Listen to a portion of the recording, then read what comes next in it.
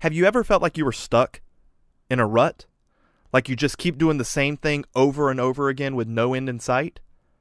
Could it be that you're actually dead and in limbo?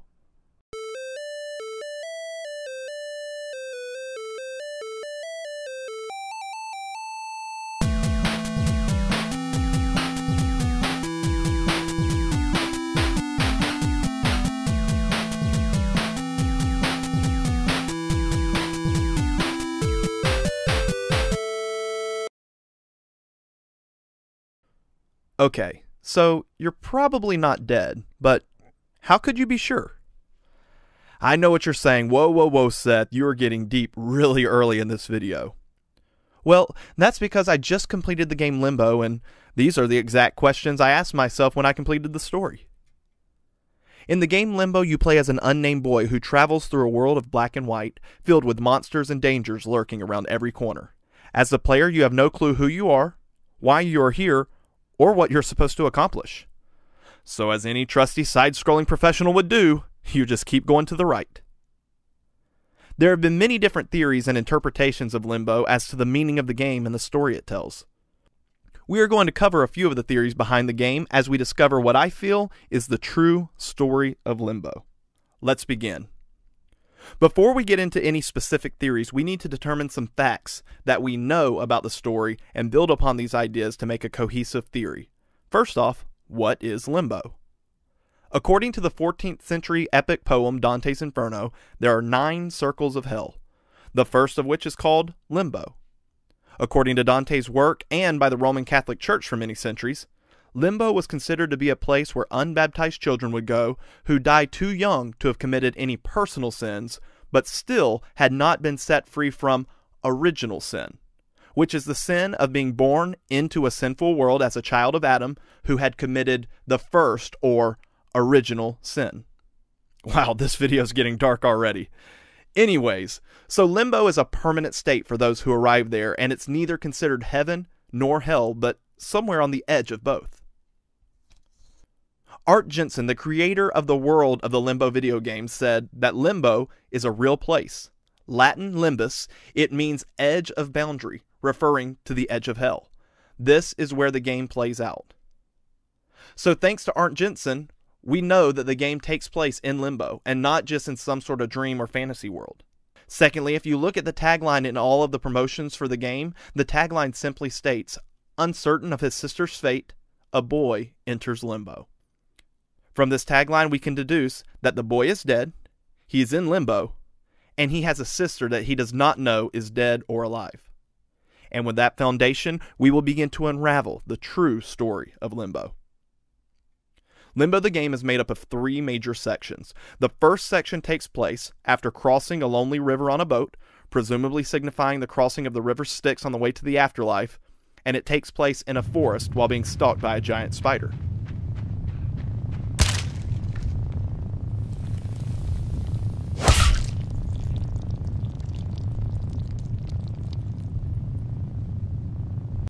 The second section of the game takes place with a few rickety buildings and being attacked by other children.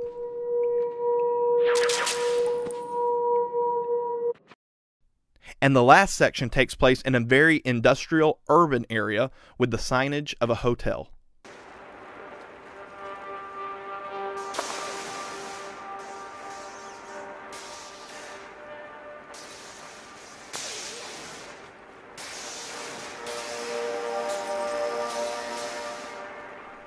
As you progress through the game, you encounter more and more deadly obstacles that you must overcome in order to continue through the story. There are sections in the game where the world around you gets flipped upside down. There are parts where you can change the laws of gravity itself. And all of this crescendos to the final part of the game where you must launch yourself through what appears to be a pane of glass and crashing onto the ground.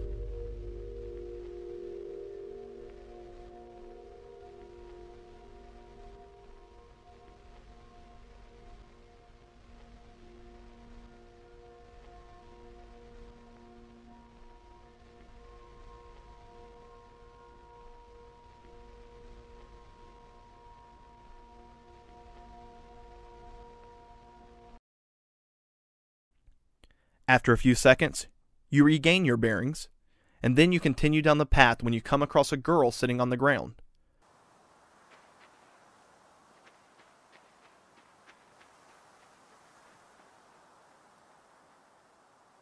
As you approach her, she seems to be startled, and then the credits roll.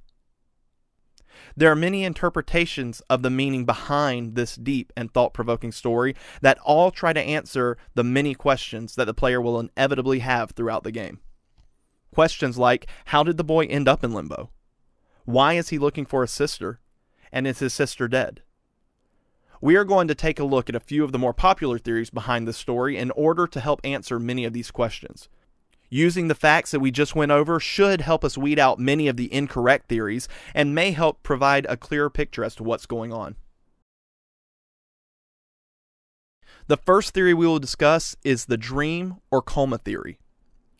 This is the theory that states that the boy is either dreaming or in a coma, and that all the trials and dangers he faces represents his struggle to stay alive.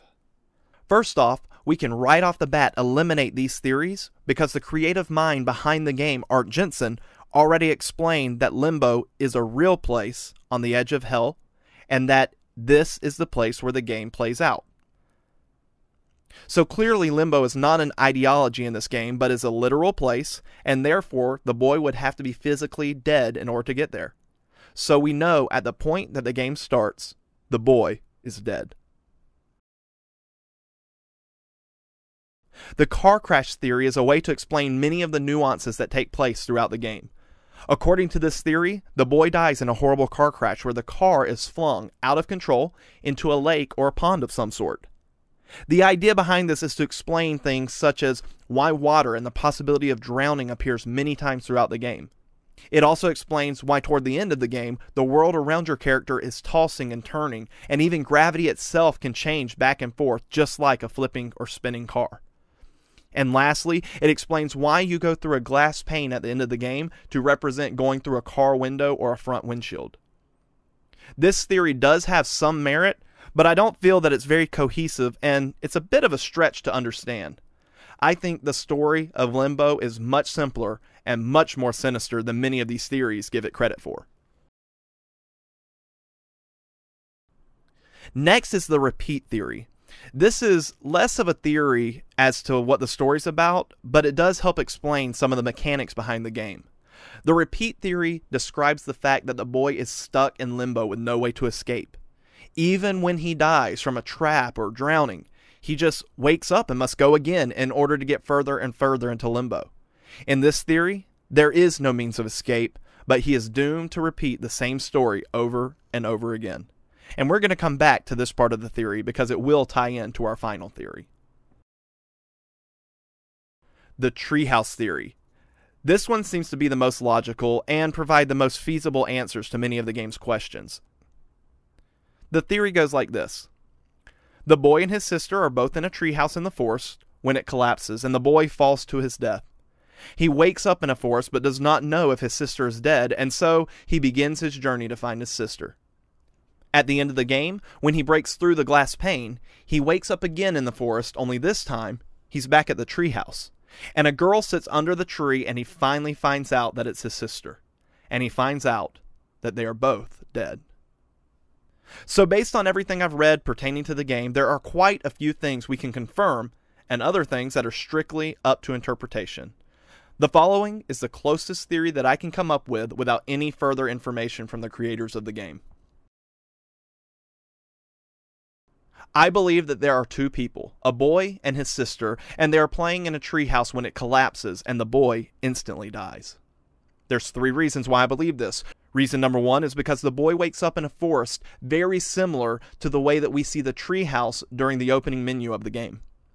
Reason number two is the tagline in all of the promotionals for the game states, uncertain of his sister's fate, a boy enters limbo.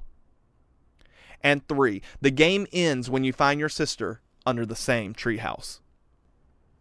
The spider leads us to believe that the boy was scared of spiders, and it's the first fear that the boy must overcome.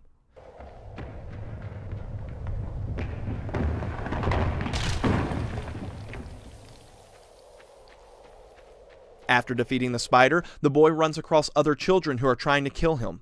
These children may symbolize his fear of not being liked or being bullied. And the last fear that the boy has is being alone in a city, especially in regards to a hotel.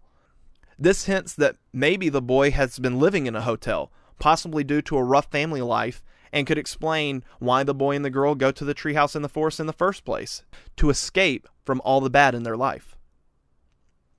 Once the boy makes it past all of his fears, he breaks through a pane of glass, marking the end of his journey alone, and that he had faced all of his personal trials. He then gets up and runs off to find his sister.